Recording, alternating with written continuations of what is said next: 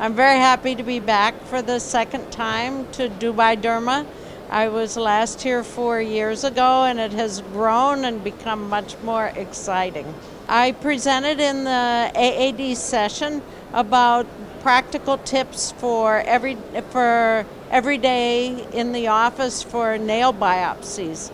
Dermatology is going to change markedly in the next five years. I think we're going to have more and more uh, computer algorithms and tools, what some people call artificial intelligence or augmented intelligence, that's going to help us refine our diagnosis so that we don't need to take so many biopsies.